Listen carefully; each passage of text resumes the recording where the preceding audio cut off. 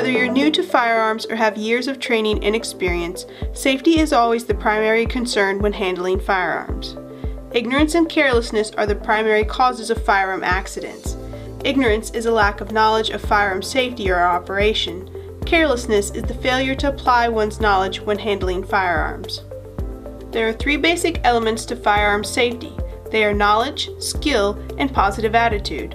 Knowledge means knowing and understanding the firearm safety rules and knowing how firearms and ammunition operate and how to handle them safely. Skill is handling firearms safely by applying the firearm safety rules. Skill is perfected through practice. Positive attitude is simply a matter of accepting this responsibility to act safely. You must have a positive attitude when using your knowledge and skill every time you handle a firearm. Safety is always the first and foremost important principle when handling firearms. There are three fundamental rules for safe gun handling. The first and most important rule is always keep the gun pointed in a safe direction. You should assume that every firearm is loaded and not pointed at anything you don't want to destroy.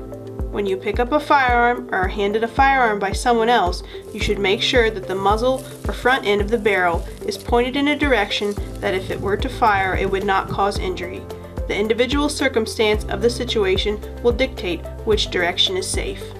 The second rule is always keep your finger off the trigger until you are ready to shoot. The trigger is the part of the firearm that, when pulled, causes the gun to fire. Don't place your finger inside the trigger guard and near the trigger until your sights are on target and you are prepared to fire. When holding a firearm, you should place your trigger finger alongside the frame or stock so that it is not near the trigger. The third rule is always keep the firearm unloaded until you are ready to use it. Whenever you pick up a gun, immediately engage the safety, remove the ammunition source, open the action, and look into the chamber and magazine area which should be clear of ammunition. Some guns require the safety to be disengaged to work the action to unload. Others do not have a manually applied safety. If you do not know how to open the action or inspect the action for ammunition, leave the gun alone and get help from someone who does. Again, you should treat every gun as if it were loaded and keep it pointed in a safe direction, even if you believe that you have verified that it is unloaded. Some additional gun safety rules that you should follow are Know your target and what is beyond. Know how to use the gun safely. Be sure the gun is safe to operate. Use only the correct ammunition for your gun.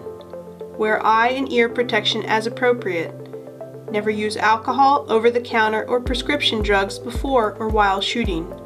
Store guns so they are not accessible to unauthorized persons. In order to safely and properly handle a firearm, you must follow all of the gun safety rules and always apply these rules simultaneously.